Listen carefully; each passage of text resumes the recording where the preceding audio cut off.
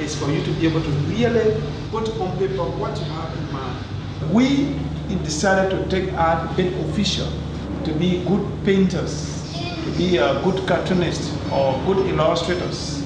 That's why we are here. I've always known myself as an artist for a very long time. It's a great accomplishment to sit and uh, start a painting and complete it. Today, while I'm teaching young people, it's a furtherance of that accomplishment. It moves from Leslie now on to others.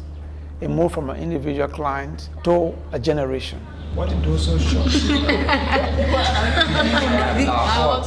the Liberia Visual Art Academy was officially opened in 2010. Before then, we had a gallery, but the children would always come and look at the beautiful paintings. And then they would tell me that they want me to teach them. We want to come and learn how to draw better. We want to draw like you. I say, I said, this is not a school. We sell artwork here. We, we only work with professional artists. But it hurts me to let them go. So what I did, I talked with friends and, and, and colleagues and institutions about forming an art school. And we teach different courses, starting with drawing, to illustration, cartoon. This is the beginning. Yeah. Because I want to go beyond an art academy. I want to go to an art institute where you have all the disciplines of the art taught. It is difficult being an artist in Liberia. But one good thing is that being an artist, it opens your mind to so many things. It makes you to cross a lot of bridges. It makes you to become a creative thinker, to solve a lot of puzzles. They love doing what they are doing. And you can see their works. These kids actually have talent. I tell the parents, encourage your children. I was actually stopped from drawing. I was told not to draw that it was a waste of time, it was a waste of energy.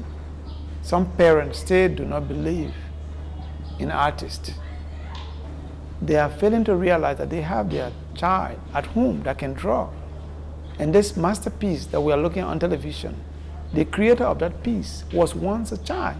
And he or she was being encouraged by the parents or by institutions.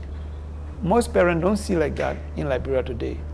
And also, unfortunately, even our educational system is not seeing it today. Long time ago, we used to do art in school, but these days, they are not doing it. Topic. You want to draw. You want to draw now. What is the first thing that you draw? Every civilization needs artists. This is, to me, more patriotic than giving someone a gun and say, go and shoot this makes you a patriot. I don't see that. Teach them, give them a career, instill into them what is it to be honest to themselves, and eventually you're going to have an honest society. I see a very bright future, not just for Liberia Visual Art Academy, but for Liberia as a whole.